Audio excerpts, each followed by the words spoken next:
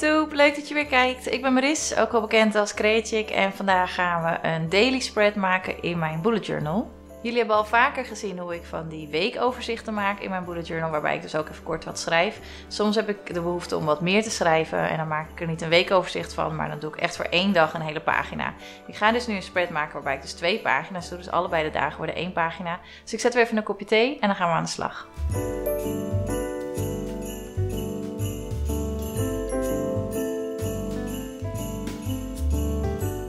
Als we Sinterklaas hebben gevierd op pakjesavond, dan doen we daarna altijd met mijn schoonouders een dobbelspel. En dan kopen we voor een paar euro een heleboel leuke cadeautjes. En die gaan we dan inpakken en dan gaan we s'avonds een dobbelspel doen. Ik denk dat heel veel mensen dat spel wel kennen, maar voor de mensen die het niet kennen, je gooit hem met een grote dobbelsteen en je krijgt soms opdrachten. Soms mag je een cadeautje pakken. Je mag hem dan ook uiteindelijk uitpakken in de volgende ronde.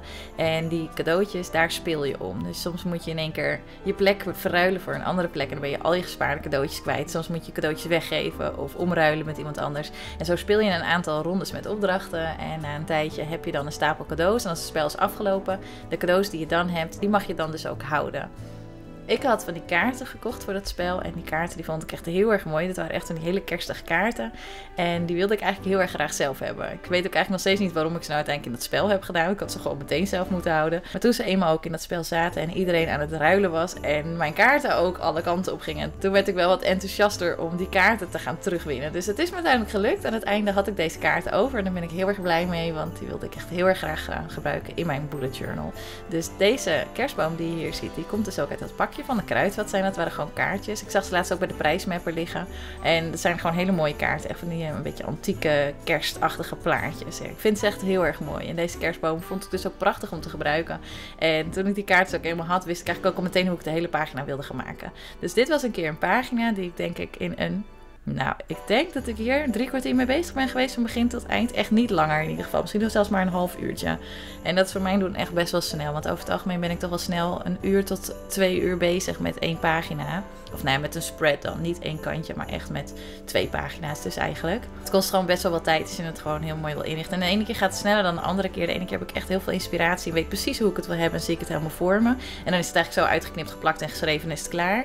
En de andere keer dan weet ik het niet. En dan vind ik het plaatje niet mooi staan. En dan ga ik toch weer voor een andere kijken. En dan heb ik gewoon niet zo mijn dag. En dan zit je gewoon een beetje te tuttebellen en te kletsen tussendoor. En een kopje thee te drinken. En dat is ook hartstikke gezellig. Maar dan duurt het wel wat langer. En dan kan ik rustig gewoon twee uur bezig zijn met een pagina. Maar deze die ging dus echt verrassend snel. En met het uiteindelijke resultaat ben ik echt hartstikke tevreden. Dit vind ik echt heel erg leuk. Ik hou heel erg van de daily pagina's. Vooral omdat daar dan heel veel verhaal in staat. En dat vind ik zelf later toch eigenlijk ook altijd wat leukste om echt terug te zien. Gewoon dat hele mooie dagboekverhaaltje, zeg maar. En hij blijft alsnog wel functioneel, want je zet alsnog wel gewoon je to-do-listen van die dag erop. Maar het is even wat meer schrijven. Ik moet wel zeggen dat ik dit niet altijd zou kunnen doen, want ik vind schrijven wel leuk, maar niet te vaak en te veel. Dus deze pagina's komen bij mij, ik denk één keer per maand, soms twee keer per maand voor. Niet zo heel erg vaak. Sowieso omdat het natuurlijk best wel veel tijd kost om zo'n pagina te maken. En dat heb ik er niet altijd voor over. Ik heb daar ook niet altijd zin in. Dus soms heb ik er echt zin in en dan doe ik dat ook echt. Maar ik zou niet mijn hele journal op deze manier kunnen doen. Dan is het echt te veel. Dan wordt het echt bijna gewoon een dagelijkse taak, dan dat het echt nog een, een hobby wordt. Dan kan je straks gewoon in je bullet journal opschrijven dat je in je bullet journal moet gaan werken als taak voor de dag. Dus dat, nee, dat is niet aan mij besteed. Ik vind het af en toe leuk en ik ben er ook heel blij mee als het erin staat. En ik vind het ook echt heel erg leuk om terug te kijken. En ik vind het schrijven dan ook niet zo erg, maar het moet wel echt gewoon bij één of twee keer per maand blijven. En dan ben ik wel tevreden. Ik heb trouwens een nieuwe bullet journal gekocht. En daar heb ik echt heel erg lang over na te denken of ik dat wel wilde gaan doen. Want deze bullet journal is nog niet vol. Maar ik heb nog maar 70 bladzijden over. En dat is op zich natuurlijk nog best wel wat. Ik gebruik zo'n 30 tot 35 pagina's per maand. Dus ik zou er nog wel twee maanden mee kunnen doen. Maar dat vind ik dan ergens jammer. En hij begint nu ook een beetje bol te gaan staan. En daardoor werkt het ook niet altijd even lekker.